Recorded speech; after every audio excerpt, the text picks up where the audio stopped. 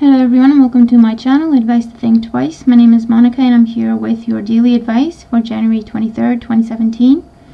Um, welcome to my channel, welcome back to everyone who's been here before. This is a general reading looking at the energies that surround us at this time, what we need to know about these energies in order to be able to use them for our highest good. And since we're looking at energies, these will play out in different ways for different people which is why I always encourage everyone to keep an open mind and take away the message of the reading and then apply it to your own situation if you feel that it speaks to that, if you feel that it could help. Um, and I will be posting the weeklies um, a bit later on today, um, today being Monday. Um, I've had some uh, unexpected guests over the weekend and it was, you know, very nice, but um, I wasn't able to work as I had planned. Um, so that's why I wasn't able to post them early. Alright, so let's just get into the reading for today. We have a beautiful message of new beginnings, new beginnings for us today, and our only challenge, if you will, is just embracing change, letting go of whatever needs to be let go of, and making room for new beginnings, new energies, new ways of being. The first card that we have representing the influence of the past on our current situation is the Knight of Swords. And so with the Knight of Swords um, as our influence from the past, the Knight of Swords is a card that talks about a time in our lives when we have had to act, but we've had to act from a place of reason, logic, uh, to see ahead, okay, to think ahead, to be uh, grounded, to make decisions based on information, based on fact, as opposed to, let's say, making choices from an emotional place. Um, and I think we had a similar message um, in the last week, towards the end of the week, where we were asked to maybe take our emotions out of it, keep our instincts and our inner wisdom, which is our intuition, but maybe kind of turn the situation around from different perspectives and just look at it for exactly what it is not wishful thinking, not fear clouding our judgment, and so on and so forth. And so I feel like the Knight of Swords speaks directly to that kind of a time in our lives when we've had to apply um, that kind of exercise to kind of pull back a little bit. The more we get emotionally involved in a situation, um, the more confusing it can get, the more complicated it can get. And so it's always a good practice and a bit of a healthy practice to take a step back, take emotion out of it, and try to keep a cool head and listen to our intuition. We have our intuition here, that's an owl. So it's saying, yes, we're rational, logical, clear headed, but we still have our instincts that we follow in our actions and what we do. And knights are cards of action. So he talks about a time in our lives when we had to make a, ch a choice, we had to make a decision um, and act upon that decision. It's not enough just to think about it, we had to act. And oftentimes that produces change in our lives. As a result, our card for today is the Death card.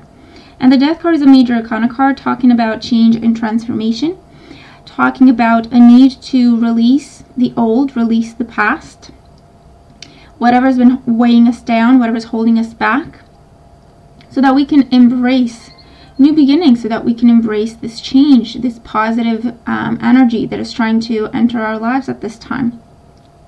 Now, it is a major arcana card, okay, and these two together say the knight as a minor arcana says we've done our part, okay, we did what we were supposed to. Now the universe is stepping in and manifesting uh, or completing our manifestation process, if you will by doing its part. We're doing by our angels and our guides doing their part. So we're working together now. We've done our part. We did what we were supposed to. We got ourselves to this point, and now it's just a matter of allowing for the universe to take charge of the situation, if you will, and then just gently guide us um, into what it is that we've been trying to manifest. The death card can talk about a lot of things. It can talk about letting go of bad habits, letting go of addictions, perhaps. Um, it can talk about releasing a relationship that we may have been holding on to. Um, either, you know, hoping that it, it, works, hoping that it starts again, hoping that that person comes back, hoping that we get closure. Um, whatever the case may be, we're holding on to something, or we have been holding on to something. um, to do with our relationships or to do with uh, career dreams or um, personal endeavors, personal projects, whatever the case may be. And we were too close to it. We were too attached to it, either by strong emotions of fear or wishful thinking, um, or just putting a lot of pressure on ourselves to make sure that we do right by everyone and so on and so forth. And it just got really complicated. That's why we were asked to keep a clear head and act to change that situation, to take ourselves out of that vicious cycle. And that's what's happening for today with the death card. We're already starting to see that change. We're already starting to see things happen in our lives on multiple uh, fields, on multiple levels, if you will, because this is a major arcana card. So you could find that you're feeling different or you you're thinking differently now. Uh, you have changed your expectations. You have changed your approach uh, with life in general or whatever it is that you're focused on. You're starting to see things change with your work situation. You're starting to see things change in your emotional life, with your health, towards the direction of new beginnings, towards the direction of embracing new energies, new opportunities, new blessings in our lives with the death card. Maybe we're moving, maybe we thought we were living in our dream home and we were reluctant to let it go, but we had to, we were forced to for whatever reason. And now we're moving, and actually, we find that if we come to it with an open mind and an open heart, we find that, hold on, this place is actually a lot better for me. Okay, uh, maybe holding on to a job situation, either hoping to get a job or really working hard to get a promotion or whatever the case may be. And something happened, it got delayed or it didn't happen. And so we worked ourselves really, really um, hard, put a lot of pressure on ourselves as well, stressed ourselves out. And today it's it's like, you know what? I'm just going to let this go.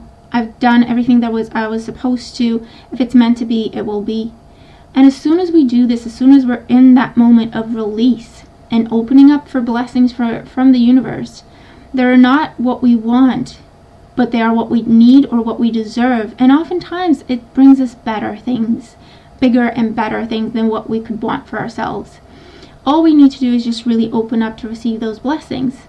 And then we find, hold on, there's a new job available, and it's actually my dream job. Hold on, there's a different change that we can make with work, and it's actually going to be a lot better for me. I'm going to have more responsibility, more more benefits, more time with family, whatever the case may be. Um, same thing with self, with our view on who we are, our identity. Maybe we're holding on to um, a way of being because we were brought up to be that way, or because everyone else saw us that way and expected us to be that way. Maybe we wanted to be that way, but we were kind of pushing ourselves or forcing ourselves to be someone we're really not deep down inside. And so for today, it's a beautiful day for liberation, transformation, and opening up to blessings from the universe with the death card. We don't have to do anything. We've done what we were supposed to. We have taken that step. We have taken that action. Today is more the energy of release and embracing what comes uh, with an open mind, with an open heart, with hopes for the best, okay, is what we are really um, guided to do today. If we do this, the energy we're moving into tomorrow with is the Justice card. So then is in this beautiful lens, a major arcana card, and it's the card of fate, karma, destiny. Um, and this talks about karmic blessings coming our way. This talks about starting a new cycle in our lives, or several, that are in line with who we are, in line with what we truly deserve, okay? With the Justice card. What we truly deserve is coming to us um, as we're moving through today, through this energy of release and embracing. And the Justice card can be, like I say, um, you know, we have our uh, heart set on a particular job. Um, and we go through the energy of release today and embracing and saying, you know what, I'm going to just, whatever happens, happens. I'm going to let this go for now and just see what else is out there. And as soon as we do that, we have a new contract coming in. We have a new job coming in. That is our dream job or that is something that's part of our life purpose because it is the card of karma and destiny. Same thing with relationships. Holding on to a certain person, holding on to a certain relationship, holding on to a certain experience, to certain feelings, good or bad that have been keeping us stuck, trapped, not moving forward, and just tormenting ourselves really at the end of the day. Releasing that and embracing love, just love. You know, just saying to the universe, you know what, I release the situation. If that person is meant to be in my life, they will be. If I'm meant to be with that person, I will be. And I truly believe that. So I release this, I let it go. And if it comes back to me, I know that it, it was meant to be. And if not, I know that that was meant to be. And I open myself to blessings and whoever I am meant to be with that can bring me true love that I deserve. Okay? As soon as we do that, okay, we're moving into the future and we're going to start to see new people in our lives and we may really meet a true soulmate or even a tr- twin flame with these energies here as well. Same thing with health. It can apply anywhere. So just take the energy, take the message um, of the reading, and then apply it to whatever you're going through if you feel that it rings bells for you. And our guidance card is 24. and it's actually a really beautiful card uh, talking about letting go, talking about releasing. So this woman has opened that cage and released this butterfly. Now she's in that moment of waiting to see Will it come back? Will it fly away? What is it that it's meant to happen for her here? And so this image captures that moment because this is where she is, okay, on, on the chess table here with all these um, chess pieces here. It talks about entrapment. It talks about uh, being stuck, being trapped, having no way out or no way forward.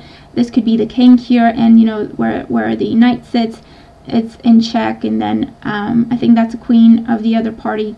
Um, and it's the king is in check from that part as well from that direction. Um, so it's just feeling stuck. It's feeling trapped. Okay there are bars on the window here that could have been put there or that she may have put there herself um, and it's almost like trying to either hold on to a moment trying to freeze it in time and that is her prison or just being afraid to release being afraid to embrace whatever happens that is her prison.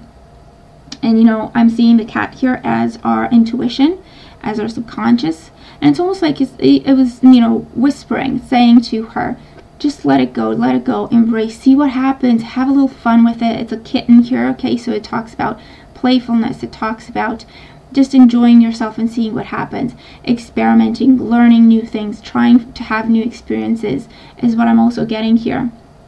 And the only thing stopping us from doing it is ourselves, okay? And so 24 adds up to a 6, and 6s are harmony and love, okay? Um, also, uh, communication, solving problems, so moving forward as a result of that. Balance as well, okay? So re re-establishing who we are, where we're going, what we want, what we deserve, and as opposed to just going out for it, pursuing it. Today we're it's more like, you know what? You've made a choice, you've made a change in the past when it comes to the situation, a clear-headed decision that, you know what? I'm just to take my emotions out of it and whatever happens happens. As a result of that, we're experiencing change. As a result of that, we're experiencing uh, shifts in the energies and you know changes actually happening in our, our real lives um, and so the energy for today is more find a peaceful place within let go of whatever needs to be released and you know what that is okay you know whatever that is for you that has been weighing you down that has been holding you back release it find your footing find your balance and just open up for blessings that are meant to be in your life, okay, is our, our message for today. So it's a really beautiful message. I really hope that it resonates with you. I hope that it gives you um, some guidance, peace of mind, confirmation, whatever it is that you need at this time when you come to the reading. Um, if you're new, this is for all signs, for anybody watching. Um, and I really hope that it helps. That is the purpose of the reading. Um, thank you very much for uh, joining me and thank you for all your support. Truly, I will be posting the weeklies um, as soon as I possibly can, and I'm also working on February monthlies and um, love for February as well. I, I, didn't get a chance to do them for January, but I'm, I'm working on them for February. Um, and just a quick update, uh, there are Valentine's Day specials available and the yearly and six month forecasts at a discount price are only available till the end of the month. So if you're still interested in that, um, now would be a good time to uh, check those out. And all the links you need are in the description box below. So thank you so much once again. Um, I hope that we all have a beautiful, transformative day, and I will talk to you tomorrow. Take care.